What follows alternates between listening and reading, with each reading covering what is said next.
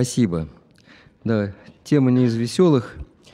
А, прежде чем она достигла состояния вот какой-то книжной ипостаси, да, книга, первое издание «Свитки из пепла» вышло позапрошлом году, а в этом году э, вышло второе издание этой книги. В общем, прошло 9 лет. Э, и поэтому я хотел бы начать свою, свою лекцию сказать, со слов благодарности.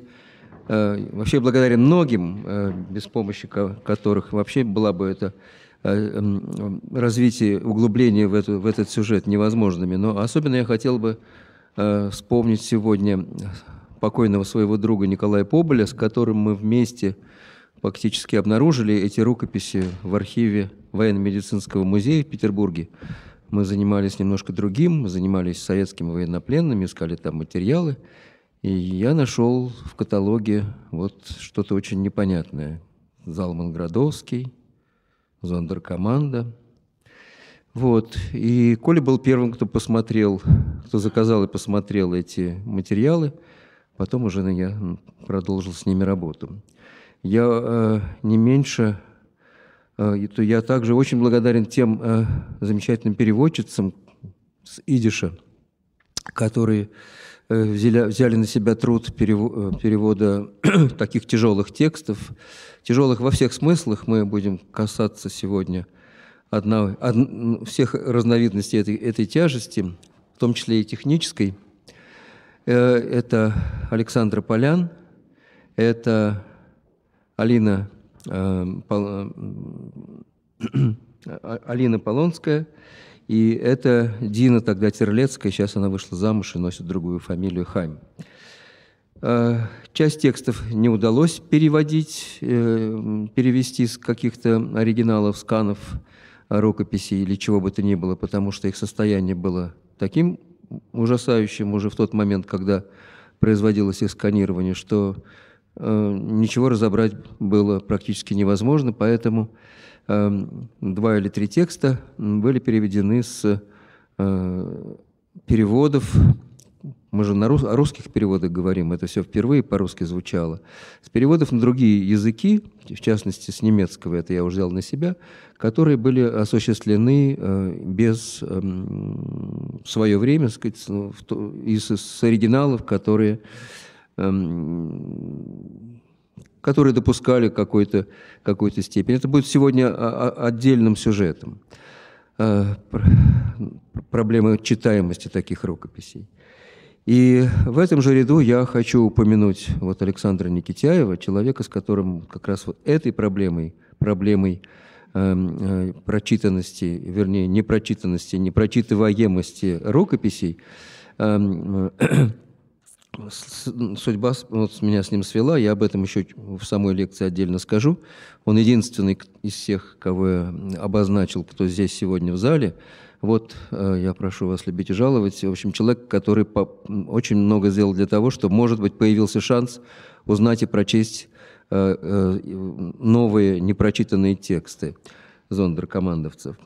Вот. Ну и, наверное, я должен упомянуть институции, которым я благодарен особенно. Это архивы, прежде всего военно-медицинский музей в Петербурге, это ведомственный музей – это особенно трудно работать у нас э, в России с ведомственными архивами.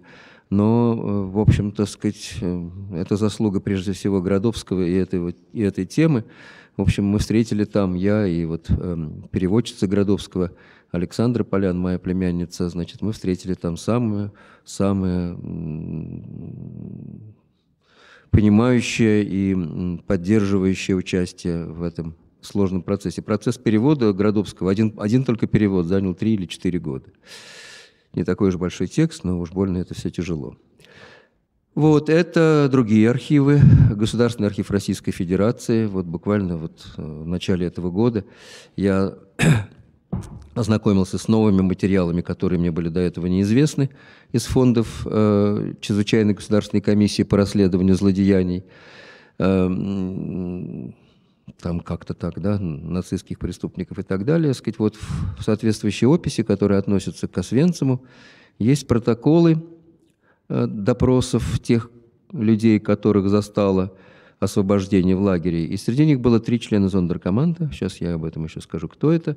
И вот эти протоколы, в общем-то, я сейчас ввожу в научный оборот. оборот в них есть очень ценные, э, ценная информация. Не менее ценная информация э, время от времени находится в архиве Освенцимском, э, Государственного музея Аушвиц-Беркинау в Освенциме. Там тоже вот последние Э, годы были найдены новые документы, которые проливают свет на восстание. Впервые, например, стало известно, стало известно одно из имен, имен и фамилия. Имена были известны и раньше, а вот имя и фамилия сразу.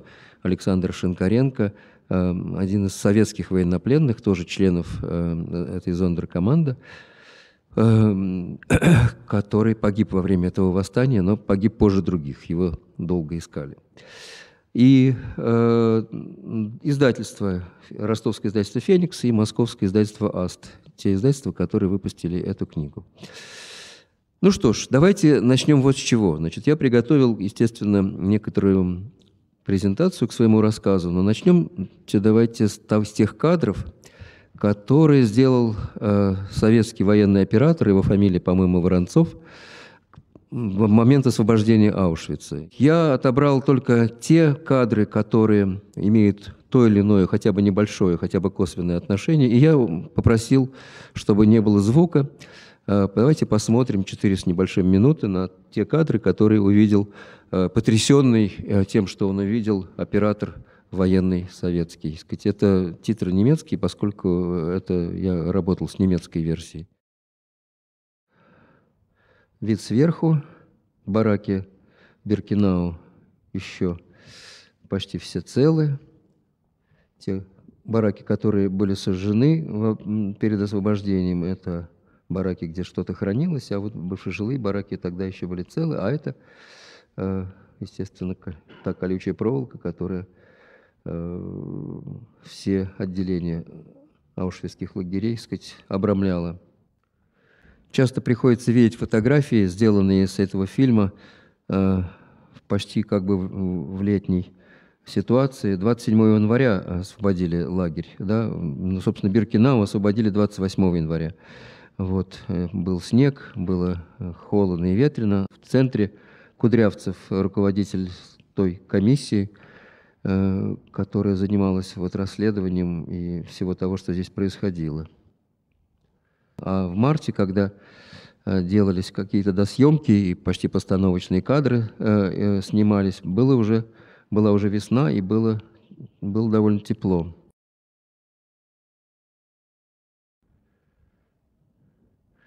Это чертежи лагеря, крематориев, вот глазок э, в газовую камеру, вот циклон Б, банки с этим циклоном Б, газом, инсектицидом, которым убивали людей массовым образом –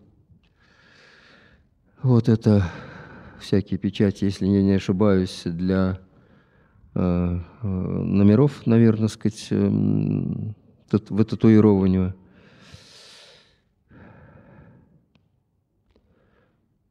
Сейчас вы увидите целый ряд кадров, но это вот как раз э, в заснеженных бараках. При освобождении лагеря порядка 6 или 7 тысяч человек было освобождено тех, кого не успели немцы эвакуировать, забрать или на кого-нибудь. Вот, вот видите, это гор, горка очков, сейчас вы видите горку вставных протезов и так дальше. Поразительно та тенденция, та как бы страсть, которой немцы пытались все-все утилизовать. Ну, все, что только можно и что только нельзя.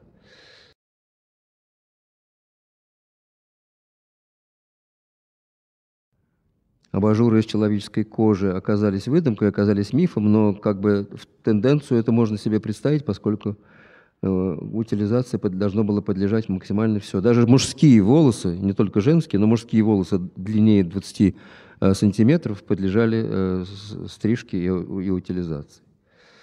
Это зубные щетки.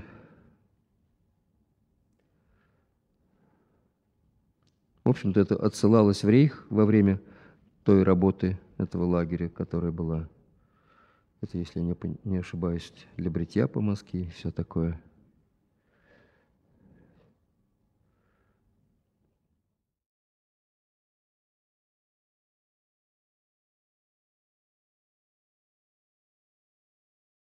А это талисы, мужские талисы, так сказать, вот евреи молятся, э, накинув эти талисы себе на плечи. Много, очень много.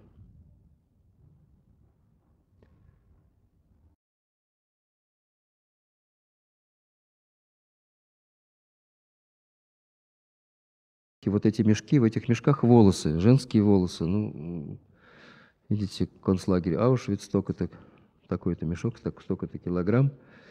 Это ну, вот советская комиссия, и здесь же еще бургомистр, польский бургомистр Аушвица, сейчас мы его увидим.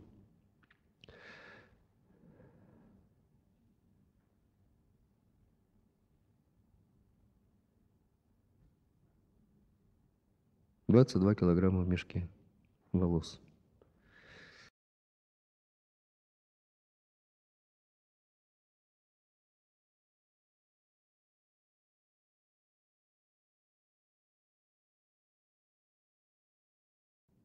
Вот этот бургомистр польский. Ну, собственно, он уже бургомистр не Аушвица, а Свенцима.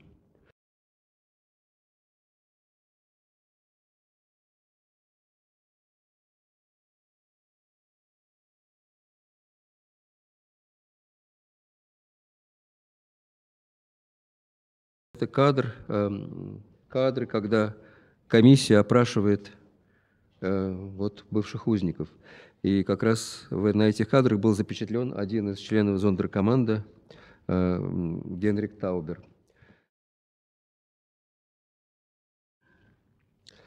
Надо пояснить. Слово зондеркоманда, как официальное обозначение э, того, о чем мы говорим, не существует официально. Это переводится понятно, особая команда, особое подразделение. Э, это скорее слово из обихода СС и СД, так назывались наряду с Айнзац командами сказать, подразделения СД, которые э, выполняли вполне определенные функции э, в рамках вот, в рамках решения и, ну, не только, не, не только к убийству евреев сводились их функции, у них были и другие функции. Они выявляли, например, Volksdeutsche, и Volksdeutsche была привилегированная группа. Они, именно зондеркоманда сказать, занималась выявлением архивов разного рода, э, каких-то материалов, могущих, э, имеющих оперативное значение, собирала какую-то информацию. Сказать. Это была такая вот э, определенная вот а, а употребление этого обозначения зондеркоманда просто как особая команда применительно к еврейским преимущественно, не на 100%, но на 98% еврейским узникам э, Аушвица Беркинау, это просто некая условность, которую, э, которую приняли все. И эсэсовцы их так называли, и они сами себя так называли, и узники лагеря их так называли. Вот, поэтому э, мы перенимаем это обозначение и пользуемся им. Ну вот, это основная, как бы, вот это мы находим, слайд сделан на рампе. Сюда приходили поезда. Американцы подлетали сюда, делали рафтосъемку, бомбили э, лагерь Моновец э, и э,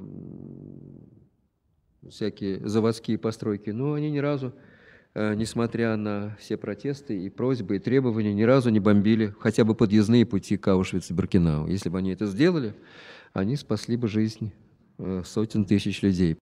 С того момента, когда э, американцы высадились в Италии, и уже их бомбардировщики сказать, долетали до э, вот, эм, Верхней Силезии, где, находился, где между Котовицей и Краковым находился Аушвиц Освенцим, к этому моменту сказать, ну, еще сказать, было совсем не поздно не, прицельными бомбардировками сказать, при, приостановить вот тот самый массовый поток Э, венгерских евреев, который начался в мае 1944 э, года и продолжался до июля. Но это был такой интенсивности поток, то есть иногда приезжало в день э, до пяти, иногда даже до семи эшелонов. Каждый эшелон – это порядка полутора-двух тысяч человек. Их подвергали селекции. Селекция выявляла работоспособных и работоспособных так или иначе использовали или в лагере, или же отправляли куда-то дальше, а всех, кто был неработоспособен, а это дети, это старики, это женщины, это беременные женщины, сказать, всех, кто был неработоспособен, в тот же день, по возможности, да, сказать, если не было вот такой, такой пробки, э, уничтожали в газовых камерах и э, сжигали в крематориях.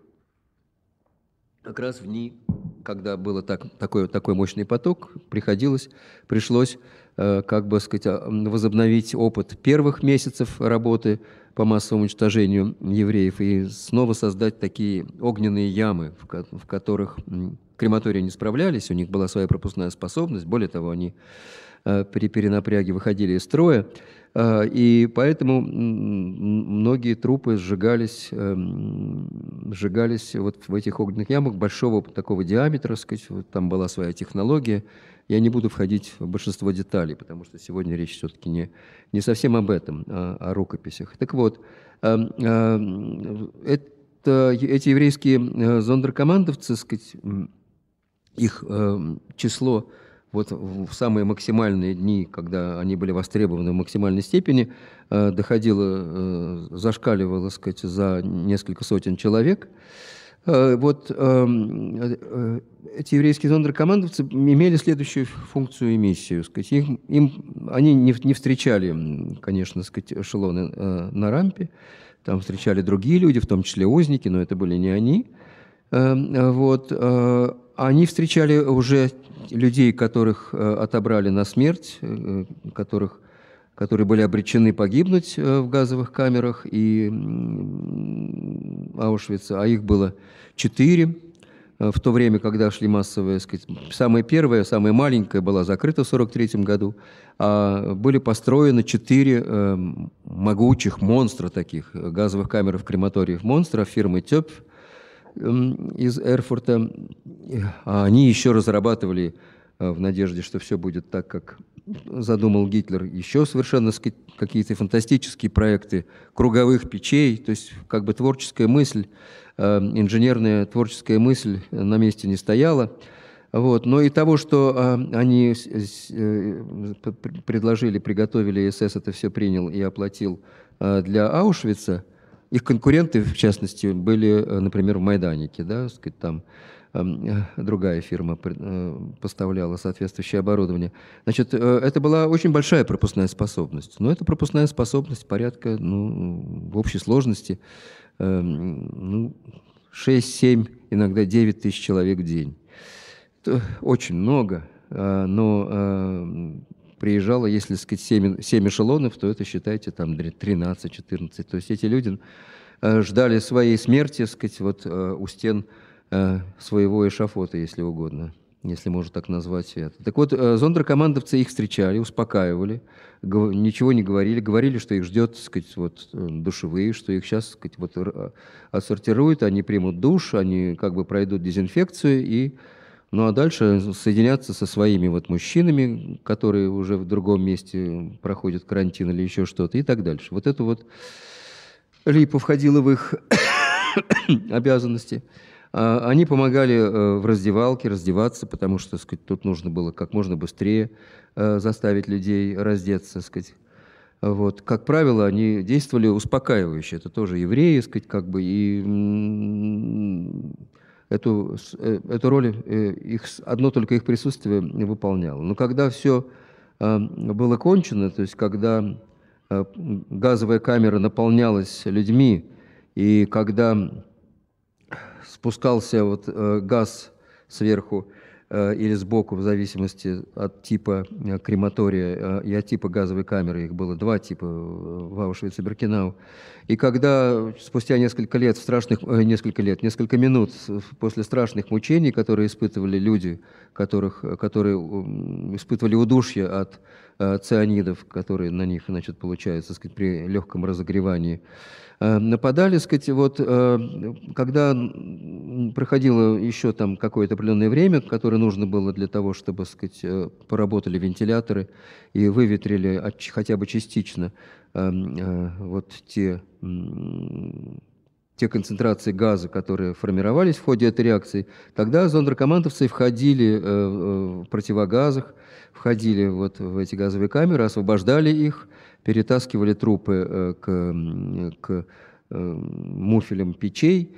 Э, в этих двух типах крематориев это все было немножко по-разному сказать, устроено. Где-то на одном уровне, где-то нужно было еще какие-то подъемники использовать. В общем, обслуживали весь этот процесс, включая, включая стрижку волос у женщин, включая э, изъятие золотых зубов, э, ну, как бы сказать, выдергивание золотых зубов из, изо рта, э, изо ртов трупов, ну и многое такое вот похожее, сказать, вот.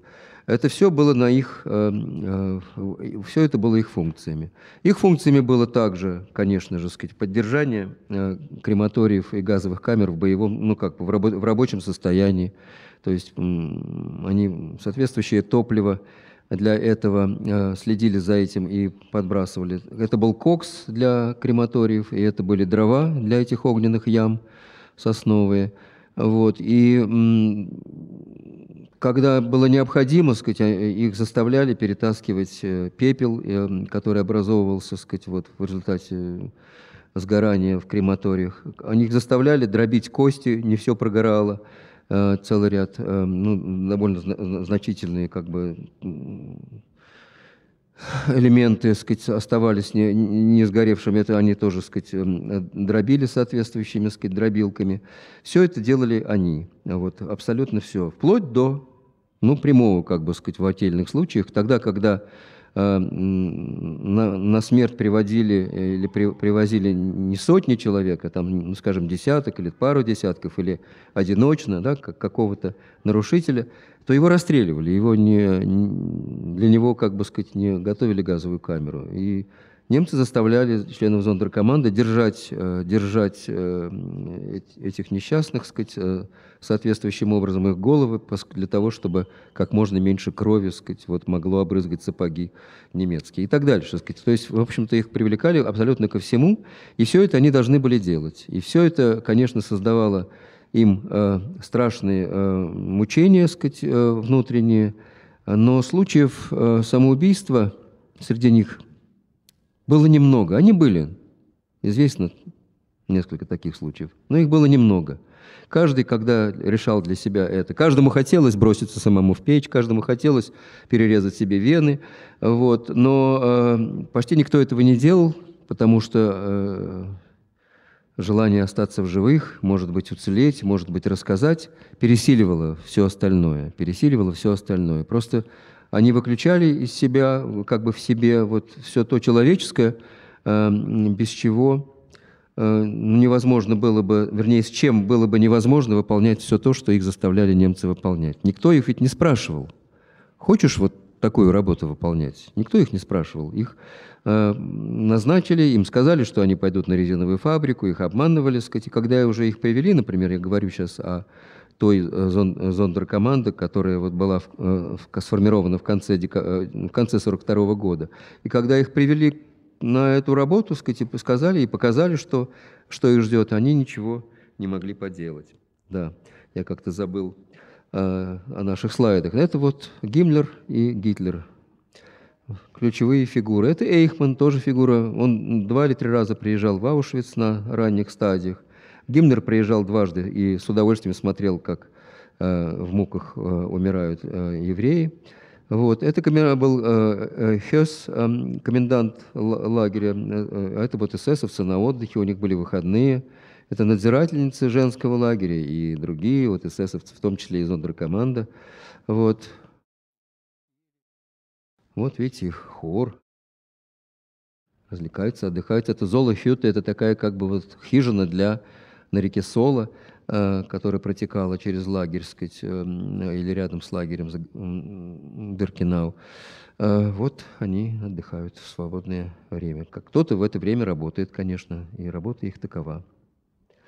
Это вот Мусфельд, Эрих Мусфельд, один из особенно сказать, жестоких эсэсовских начальников. Он был начальником одного из крематориев – Э, он сюда приехал из Майданика, он здесь дважды, он сначала был здесь, потом так сказать, работал в Майданике, и с Майданики вместе с советскими военнопленными, 19 советскими военнопленными, одним немецким КАПО, уголовником, значит, он сюда переехал, этих военнопленных, к удивлению, никто не убил, они влились в состав, состав зондер, еврейской зондеркоманды. Большинство из них наверняка были евреями, потому что эти Э, команды советских военнопленных, по идее, должны были состоять или из комиссаров, или из, из, или из евреев. Скорее всего, тот Шинкаренко, о котором мы узнали теперь, мы знали несколько имен, да? мы знали даже несколько званий, полковник, майор, участвовал в Сталинградской битве. Но мы не знали их фамилии. Это первый раз, что вот немецкие документы нам дали фамилию как, кого бы то ни было из этих 19 человек. Скорее всего, это был бывший комиссар. Так вот, значит, это вот крематорий. Это крематорий, 15-муфельный крематорий номер 3, ну, в общем-то, номер 2 был точно такой же. Они вот очень близко от рампы находились, куда привозили э, жертв э, прямо на поезде, да, сказать, там проходила селекция, и тех, кого э, отобрали на смерть, им здесь было идти до этого места, где их убьют, совсем недалеко. Чуть э, восточнее, сказать, э, или правее – вот другие были крематории э, меньше, восьмимуфельные, четвертый и пятый. Вот это вот четвертый, тот самый героический крематорий, которым, на котором возникло восстание. А вот это заслонки, э, э, заслонки для вбрасывания газа, которые практиковались, такие достаточно массивные, сказать, вот сам этот газ и эти соответствующие заслонки, сказать, вот, которые, которые, эти заслонки с тех импровизированных газовых камер, которые были вот это вот, э, которые были эм, сделаны, в которые были переоборудованы ну, просто польские крестьянские дома э, поблизости, сказать, до того, как были построены вот эти вот мощные, высокотехнологичные, хай-тековские газовые камеры и крематории при них. Эти фотографии, таких фотографий три – Э, сделана была э, членами зондеркоманда, э, тайком, естественно, сказать, вот как раз это вот эти самые огненные ямы, о которых я говорил, вот лето 44 года, и найденный в одежде очередных жертв фотоаппарат был использован для того, чтобы сфотографировать, и эти фотографии потрясающие, сказать, сохранились, их три в общей сложности – ну, как считать, четыре. Да, вот, и это а, как раз вы видите сам этот процесс сжигания. Это селекция, которая вот приехал эшелон из Словакии, а, и немцы их сейчас а, сортируют. Кто-то из врачей обязательно в этом участвовал, не, не обязательно только доктор Менгеле и другие тоже, ничуть не лучше и не хуже его. Сказать. Смысл того, что это делает доктор – а, а не просто какой-то эсэсовец, э, который тоже мог бы понять, работоспособный человек и неработоспособный, только в том, что Менгеле отбирал себе для медицинских экспериментов определенный человеческий материал, э, людей с какими-то определенными параметрами. Особенно его интересовали близнецы, э, поскольку он такие опыты делал сказать, сравнительной такой практически медицины. И вот поэтому, в общем-то, это эта миссия отбора э, во время селекции, с одной стороны, тех, кто был работоспособен, с другой стороны, тех, кто был неработоспособен, а с третьей, тех, кто был нужен э, вот этим эсэсовским извергам, врачам для их э, жутких экспериментов, это было задачей, задачей эсэсовских врачей. Вот здесь это написано «апель работоспособных». Апель в смысле перекличка. Это вот женщины, сказать, вот, обритые, Э, которых отобрали на жизнь, да, сказать, которые, если погибнут потом, то только от того, что они, э, что работа их убьет, что они потеряют силы, станут доходягами, и тогда уже внутренние селекции, внутрилагерные селекции приведут их туда же, э, куда их дети, матери, сестры попали, не дожидаясь вот этого трудового истощения. То есть работоспособность была фактором, который которая держала на плаву часть, э, некоторое время, сказать, держала на плаву. Как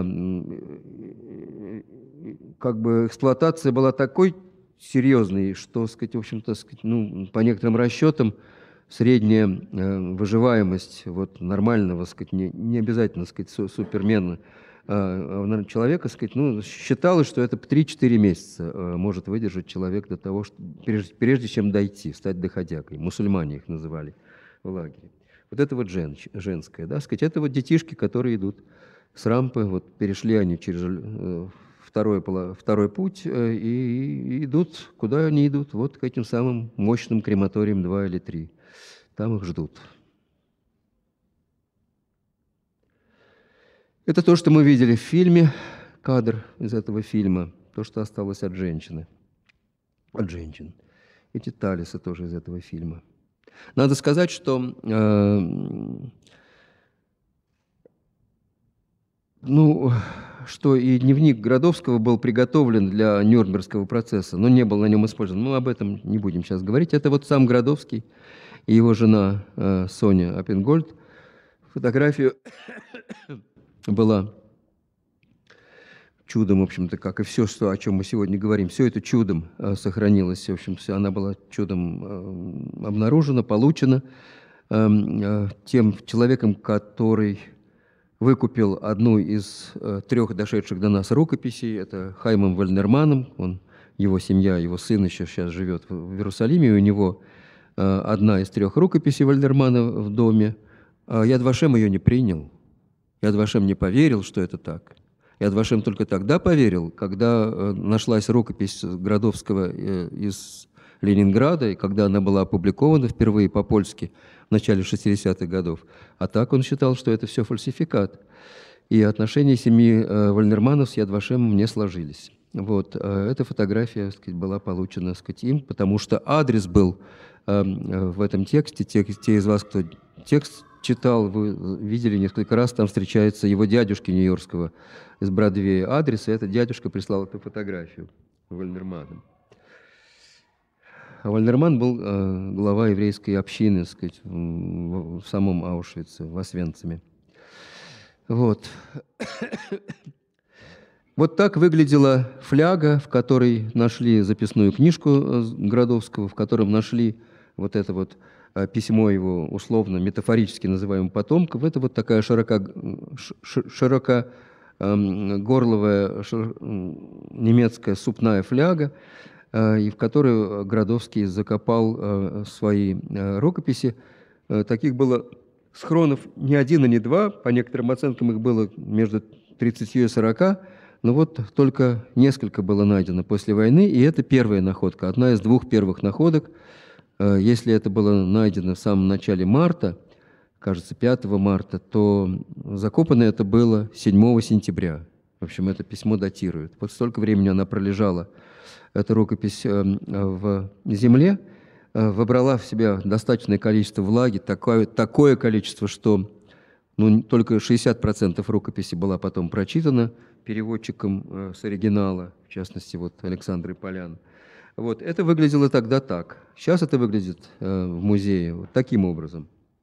Вот это вот собранная фляга и записная книжка такого размера, и вот оригинал этого письма потомкам потрясающего письма, в котором Городовский не жалеет гневных слов ни в адрес, не только в адрес немцев, но и в адрес союзников, которые не, бомбя, не бомбили Аушвиц, не в адрес э, советских сою, э, союзников, освободителей. Он их как раз ждет, он их считает, что они как раз и сыграют решающую роль. Так оно и получилось 27 января, 27-28 января Красная Армия освободила Аушвиц – но не,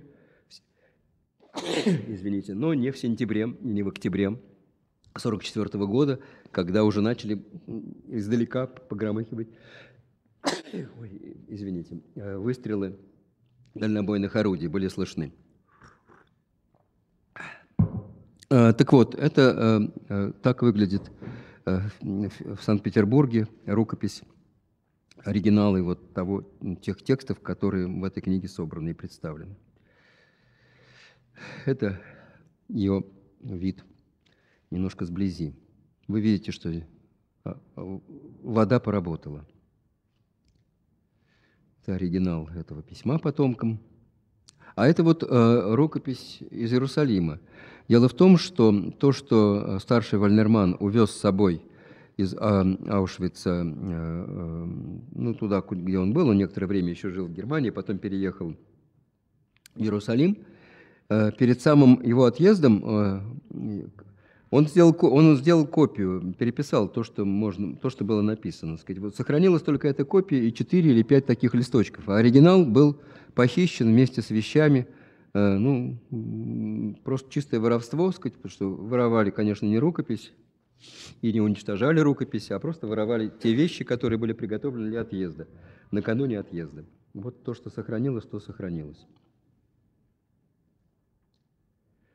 Это Левенталь. Это Залман Левенталь. А, второй из летописцев. Э, мне, наверное, надо было сказать э, о том жанре, о тех, вернее, жанрах, в которых писал Градовский, прежде чем переходить к другим. Градовский оставил потрясающие тексты. Вот это вот публицистическое письмо потомкам, короткое, да, сказать, обличающее э, всех и вся, справедливо и делающее честь ему, как бы географическому его кругозору, он все понимал – Э, прекрасно и делал совершенно, так сказать, осмысленные выводы, ясная совершенно голова. Э, два других его текста иные. Один текст посвящен тому, что он пережил в гетто. Э, он был в Колбасинском гетто, это под, эм, под Гродно.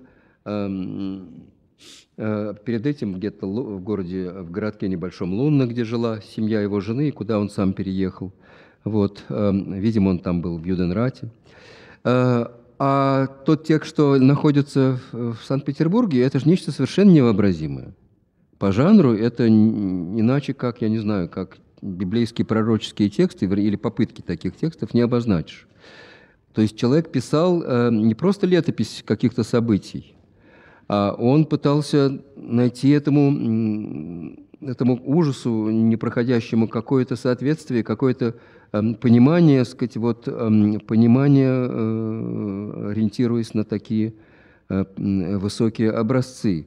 Надо сказать, что это написано, вот некоторые воспринимают это как текст, написанный на грани э, безумия, да, сказать, что некоторые пассажи наводят на такие мысли. Ну, вы видите, и вы, чем приходилось заниматься людям. Так вот, все остальные зондеркомандовцы, чьи тексты сохранились, они конечно же, сказать, в этом жанре себя не пробовали. Залман Левенталь, он как раз из тех, кто особенно обличителен был, он писал э, своего рода, ну, в общем, вот он, он как раз был летописцем, да, сказать, вот, и он э, очень много писал э, критически, скажем так, слов, очень нелицеприятных в адрес поль, поляков, поляков вообще, поль, поляков в лагере, Э, польского подполья, которое несколько раз э, договаривалось с еврейским подпольем о чем-то совместном и всякий раз э, обманывала, кидала под тем или иным благовидным предлогом, а у них были совершенно разные цели. Эти люди,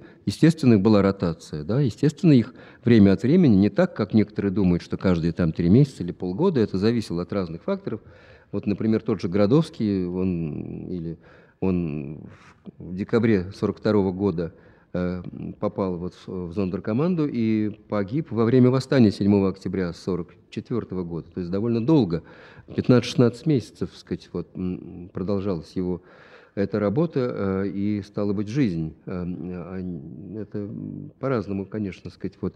А Левенталь вот это все писал, и именно в его тексты пострадали особенно от польской цензуры, потому что вот э, как бы, может быть, главное, ну, одно из главных достоинств этой книги, э, и, в принципе, можно этим гордиться, потому что именно по-русски э, эта книга вышла наиболее адекватно, вот это собрание этих, эта антология этих рукописей, заключается в том, что эти переводы сделаны с оригиналов, а не с тех польских переводов, с которых потом переводились на немецкий язык, на английский, на французский, Э, большинство других публикаций, которые существовало. Те польские переводы были, естественно, польской цензурой э, изуродованы.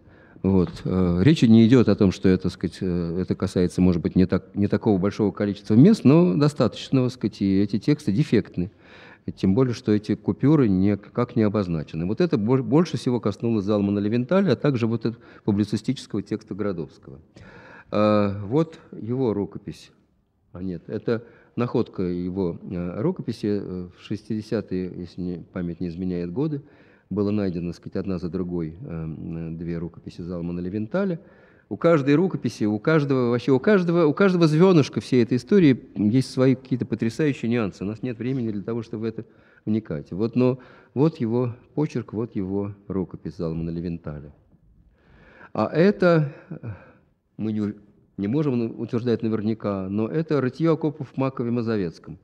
И вот человек э, в Ермолке, э, второй справа, весьма возможно, что это Лейп Лангфус, потому что после того, как его тесть, э, который был раввином Макова Мазовецкого, сказать, э, уехал в Варшаву, он стал первым как бы религиозным лицом в этом местечке, и, естественно, сказать, э, он был очень уважаемым человеком, очень уважаемым человеком, кстати, и в зондеркоманде. Ему очень многое позволялось, что не позволялось бы никому, и он отвечал за религиозную жизнь, которая у них была, которая у них была. И во всяком случае, вероятность того, что это он не стопроцентная, но вот это вот его рукописи, это стопроцентная вероятность. Вот он, э, его рукописи были потом идентифицированы среди рукописей, часть его, несколько страничек его текстов были идентифицированы среди рукописей э, из Алмана Левенталя. В общем, он э, был одним из активнейших авторов такого рода текстов. И он тоже описывает эм, то, что происходило с ним и с его, как бы сказать, семьей до до Аушвица, тоже свою депортацию описывает. Это рукопись Марселя Наджари. Э, Марсель Наджари – греческий еврей. Рукопись написана по, на новогреческом языке. Это вот страничка, немножко реконструированная, реконструированная с помощью тех спектрографических методов, которыми пользовался вот как раз Александр Никитяев. Так, она, а, э, так хорошо она не видна, мы сейчас увидим, как она видна вот в оригинале. А, этот текст совсем другой. Это текст, вот из него человек клокочет местью, он горит, он сообщает там кому что сказать, и чтобы вот если он погибнет, то чтобы обязательно там стиле. Вот это какой-то э, вопль о мести. Вот что этот текст. Э, это, сейчас мы посмотрим, вот это вот текст э, Хайма э, Германа – вы видите, это копия, э, посланная э, уже наоборот в Аушвиц э, из определенной французской организации. До сих пор не найден ее оригинал. Он написал свой текст по-французски. Это поляк, который, таких было очень много, польский еврей, который переехал, переехал во Францию в 20-е годы. Эм, и он был депортирован, попал в Аушвиц из Дранси, из, из Франции, не, не, не из польских э, гетто, не из польских мест. Вот. Но он пишет сознательно по-французски, во-первых, в надежде, что это повышает шансы этой рукописи, во-первых, не, не затеряться, потому что те польские мародеры, крестьяне, которые находили эти рукописи, я еще раз повторяю, их были десятки, как правило, это все просто вот эти все непонятные буквы просто выбрасывали или сжигали в печке.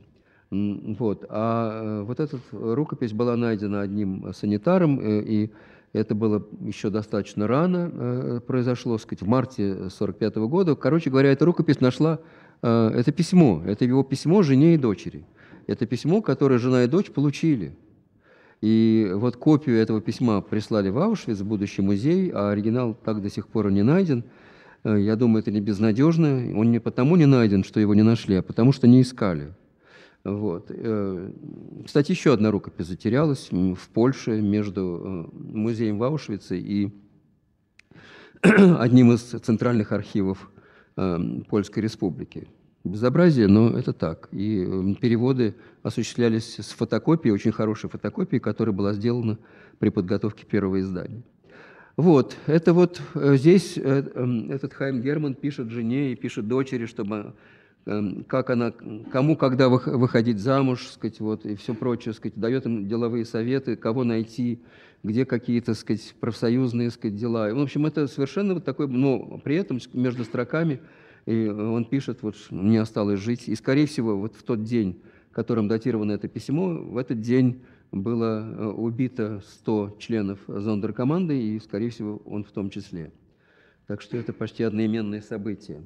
А вот э, Последнее, э, что я здесь э, приготовил в этом смысле, это не рукопись члена зондеркоманды, это публикация э, в таком малотиражном ротопринтном издании ЕИВа, Еврейского исследовательского института, текста, который не является текстом члена зондеркоманды. Но смотрите, чем он является. Это Авром Левите. Он не был зондеркомандой, он был просто узник, узник Беркинау. Со своими товарищами эти люди решили приготовить литературный альманах. И это предисловие. Авром Левите, видимо, был как бы инициатор этого проекта. Это предисловие этого литературного альманаха, вот, опубликованный на том языке, на котором это было написано, еще в 1946 году вот, в этом самом издании Еврейского исследовательского центра ЕИВО. Сейчас это находится в Нью-Йорке, штаб-квартира этой организации, а когда-то это было в Вильнюсе. Начиналось это все там. Так вот, это потрясающий текст. Как бы э, он не является рукописью в строгом смысле слова Зондеркоманда, но он написан был буквально в нескольких стах метрах от того, от крематориев и газовых камер, и он замечательно, так сказать, как бы корреспондирует с тем, что, э, что здесь э, было написано. Но я это все оставляю э, для того, чтобы вы могли прочесть в книге, что именно это за тексты. Просто чтобы у вас было представление о том, как это бытовало. И что же? Вот мы уткнулись в некоторую проблему. 60% это максимальный, максимальная читаемость рукописи, то, что у Градовского в питерской, в питерской рукописи. А ведь в остальных еще хуже – особенно сейчас, потому что со временем, э, со временем качество, состояние сказать, вот, носителя и, и чернил, и бумаги сказать, все, все становится сказать, все хуже и хуже, и прочесть это вот таким нормальным человеческим глазом представ, не представляется возможным практически. То есть те попытки, например, которые э, можно было предпринять, э, я уже сказал, что они просто в некоторых случаях ни к чему не приводили. То есть есть рукописи, ну, в частности, в самом худшем состоянии. Так называемая Лодзинская рукопись, я ее вообще не рассматриваю, потому что это рукопись о Лодзинском гетто, которая была найдена среди э, одежды, среди э, вещей, кого-то, не кого-то, мы знаем даже кого, теперь это уже точно известно, Лодинского гетто, сказать, вот ее степень э, сохранности, сказать, она даже физической сохранности бумаги, ну, я не знаю, не превышает 15%. Она была в свое время все-таки как-то прочитана, сказать, вот, и вышла э, по-польски, и потом тоже с нее переводили, сказать, но по, при, пере, перевести ее сейчас с оригинала невозможно. Э, и что же? Э, как проблема это ощущалось мною всегда, да, что вот надо что-то сделать. Надо что-то сделать для того, чтобы прочесть то, что не, не было прочитано. И уж как мне казалось, человеку все-таки немножко наивному, да, что вот есть такие ведомства в любой стране, в том числе в нашей, а, которые умеют это делать, с которыми ну, только обратиться, они тут же сказать, все, все бросят и займутся сказать, э, э, решением этой важной исторической задачи, э, прочтут, предоставят нашим переводчикам новые тексты, и они дополнят этот текст. Ничего подобного, сказать, я вот уже как бы во всеуслышание начал об этом трубить уже сейчас, вот накануне этого юбилея, в одной из радиопередач, которую, слава богу, слышал э, вот как раз Александр Никитяев. Но никто не слышал из этих ведомств, ни из Министерства обороны, э, под, под, под, началом которого хранится в Питере э, в архиве в музее Эм, э, вот этот потрясающий документ Городовского, сказать, эм, рукопись, рукописи, ни тем более Министерстве внутренних дел, э, в котором, как я полагал и как я полагаю, сказать, есть соответствующее оборудование, которое все это может сделать. Хорошо, я, надо, может быть, как-то четче сказать, что им слушать радио. Я в газете «Ведомости» написал, я публиковал специальную статью, где все было сказано черным по белому, и адресаты этого обращения считайте, что это закамуфлированное открытое письмо в эти ведомства реакция нулевая. Я подождал еще неделю или еще две, сказать, и написал просто пресс, пресс-службам этих ведомств отдельные письма, сказать, сославшись на эти публикации и на книги, которые есть, сказать, и запросив их, тоже до сих пор ответа нет, хотя, в общем-то, даже больше месяца прошло. Но зато э, возникла другая, э, как бы сказать, альтернативная опция. Это вот э, замечательные энтузиасты, которые еще не перевелись в нашей стране. И вот Александр Никитяев один из них, э, и он э, почувствовал, что здесь есть некоторый потенциал для каких-то осмысленных, э, опирающихся на разные физико-оптические процессы действий, которые, в которых содержится потенциал того, что можно что-то сделать. И действительно, сказать, вот с его помощью сказать, мы углубились вместе вот в ту проблематику, сказать, выяснили, что есть такие методы. Мультиспектральный, гиперспектральный, рентгеновский, которые позволяют прочесть, это трудоемкая, сложная работа, но которые позволяют при подборе соответствующих, сказать, как бы параметров в зоне инфракрасной, в зоне ультрафиолетовой, в зоне рентгеновской, э, найти такие сочетания, которые делают видимым то, что мы не видим сейчас. Да? То есть, в принципе, предстоит такая работа. Потому что с теми сканами, которыми мы располагаем, вот посмотрите, например, вот, кстати, это э, вы можете пустить вручную? Вот то, что это вот так выглядит рукопись Наджари, которую вы видели раньше. Вот то, что происходит с ней в результате некоторой вот ее э, определенной обработки вот с помощью тех методов, э, о которых я сказал. И постепенно, так сказать, вы видите, что читаемость этой рукописи повышается. Я сделал тестовые, ну, нашел переводчиков для тестовых переводов э, этого текста и тестовых переводов других, э, сканов других авторов, сказать, и все, повсюду отмечается серьезное э, улучшение качества, но на тех тестовых страницах, которые были для этого использованы, ну, не, обра не образовалось прироста текста, кроме разве что вот как раз текста на Джаре, где удалось прочесть несколько, ну не несколько, а два имени, которые не были прочитаны даже э, вот теми, кто смотрел в оригинал и переводил это на польский когда-то. Вот видите, так выглядят э, соответствующие, сказать, э, вот так это выглядит оригинал с правой стороны, вот в середине то, что можно получить э, для, э, для для изучения переводчикам э, или другим специалистам, а там э, слева это немножко как бы обведенная, э, то есть а, часть работы по контрастированию сказать, изображения сказать, здесь сделана. Но ну, для этого, конечно, тоже нужно знать язык, на, на котором это производит. Некоторые как бы сказать, движения, э, ну, не знаю, там, мышки или чего-то там, сказать, могли не обязательно, сказать, привести к, к точному обозначению контрастируемых, но во всяком случае, видите, какая разница. И все это сейчас утыкается, это вот как раз, если не ошибаюсь, да, это вот с определенным фильтром, результат обработки рукописи Градовского. А вот сравните Градовского, а нет, мы уже прошли мимо сравнения Градовского и, эм, э, и Наджари. Во всяком случае, вот есть а, замечательная перспектива все это прочесть. Но это почти ничего не дает нам сейчас с теми сканами, сделанными на чисто бытовом любительском секретарском уровне – которым мы располагаем. Это касается и питерского скана, и питерских документов, и аушвицких. Если сейчас сделать соответствующее новое сканирование на совершенно другой, другом оборудовании, то результат может быть потрясающим. Может быть очень вероятность того, что будет, возник, возникнет возможность прочесть непрочитанное или его часть, э, будет очень большой. Но дело за, за малым, за тем, чтобы кто-то это отсканировал, а это очень большая, сложная бюрократическая а, задача. Сейчас, извините. Вот. Я надеялся, что два силовых министра проведут одну несиловую операцию и э, решат эту задачу своими способами.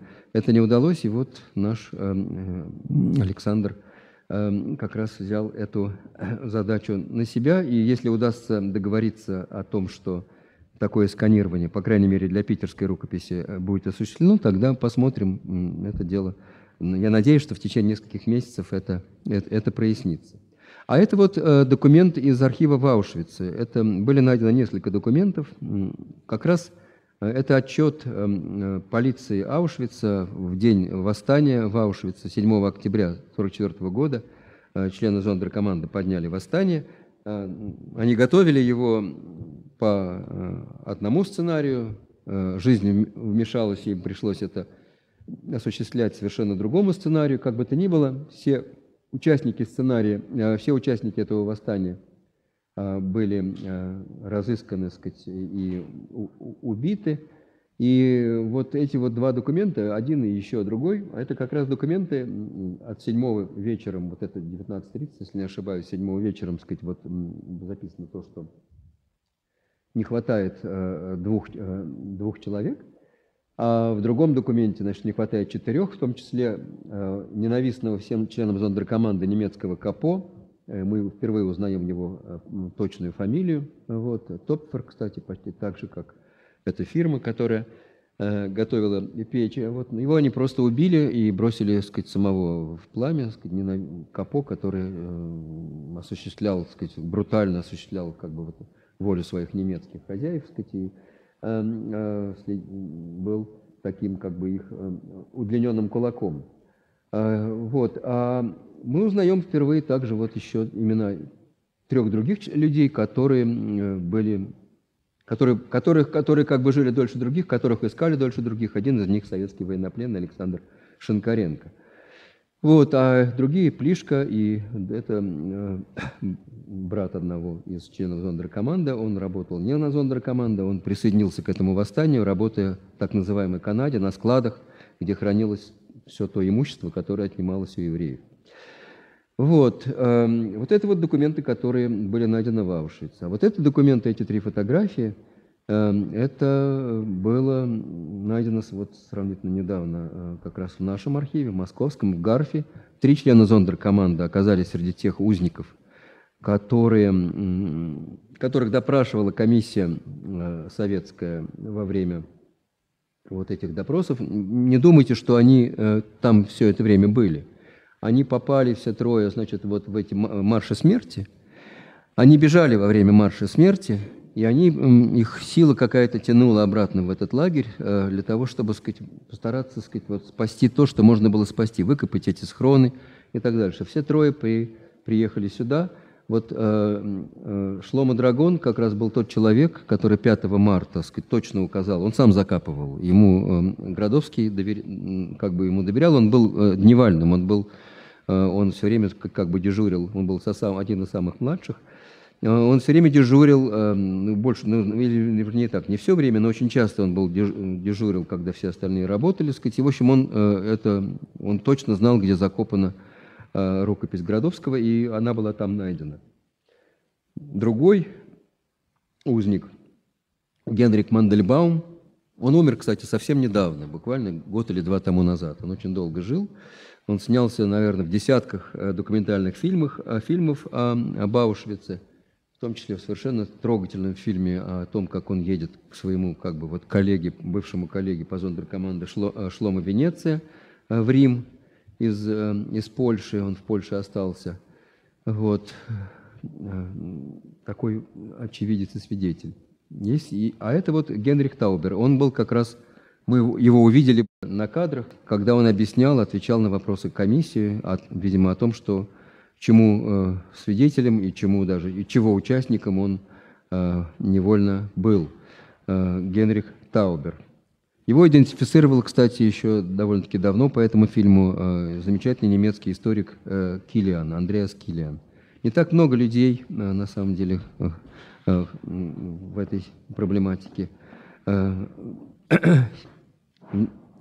чувствует себя как в своей тарелке. И вот это вот сухие цветы, ну вот на верхнем марше той лестницы, которая вела на восставшем крематории номер 4, вниз в газовую камеру, э, в раздевалку, а потом в газовую камеру. Это развалины, руины. Вот некоторое время тому назад это выглядело так – и э, на этом я как бы свою лекцию хотел бы закончить и был бы рад ответить на те вопросы, которые у вас возникли.